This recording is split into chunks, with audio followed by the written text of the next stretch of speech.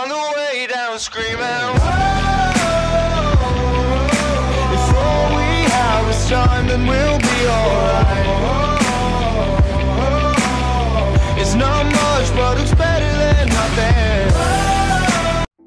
Alright guys, so I know a lot of you are probably wondering, what am I bored of? What is this? What is this video about, man? The Call of Duty is not boring. It, I don't know. But for me, just Black Ops 2, I'm not really feeling it right now. Like, Modern Warfare 2, I tried AW, me and Edge actually had a blast at that game. But uh, Modern Warfare 2, MBO2, MW3, like, MW3 out of map trick shotting is fun.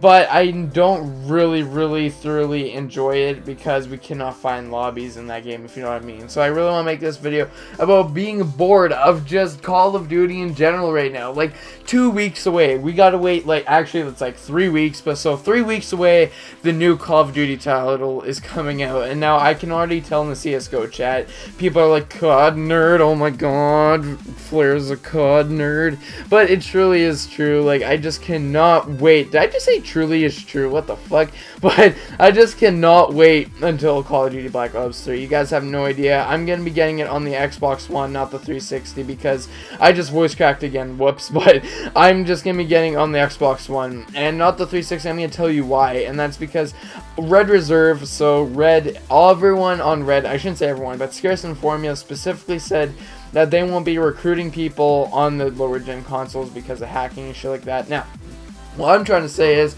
oh, it's like Flare. Flare, you're not gonna get in red. You only have 600 subscribers. Oh my god! But the truth is, guys, is that I want to like not go on old gen consoles. When you think about it, these consoles have been out for two years already. When you think of it, the end of 2013, and people are still playing on the 360. I literally think this is my last couple weeks on the Xbox 360.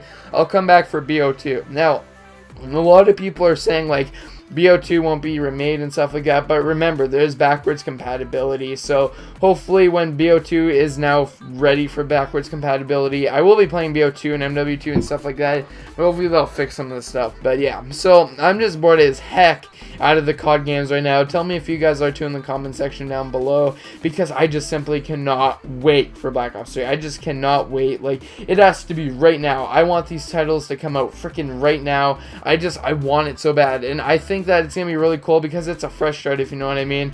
I wonder if Black Ops 3 is going to be like Black Ops 2 and MW2 where people play it for three years, or is it going to be like Advanced Warfare and Ghost where people only play it for a couple months? Like, I hope it lasts at least over a year. I think that'd be pretty successful. Not even just it lasts until the next COD game, which people are like COD Ghost 2, Modern Warfare 4, or a remake of Modern Warfare 1, 2, and 3. I have no idea, but that's not going to be for another video, honestly. But there's just so many ideas and examples we can have towards a new Call of Duty game after Black Ops 3, but I have no idea what the next Call of Duty game is. I just cannot wait for Black Ops 3. It's going to be a fun ass time. And hopefully I can see you guys on the Xbox One. That'd be pretty dope because a lot of people are asking me if I'm getting on the 360, which I'm not. I'm really sorry, guys. I'm gonna have to invest into a 360 or Xbox Scuff or an Xbox One Scuff or a Scuff One, whatever they're called, and I might just get like a backwards compatibility thing for my Xbox 360 Scuff controller. I have no idea, guys. I hope you guys enjoyed this video. Like, comment, and subscribe, guys. Make sure you subscribe for more. Anyways, guys, I'll talk to you guys later, and peace. And remember, leave a like. Hiss.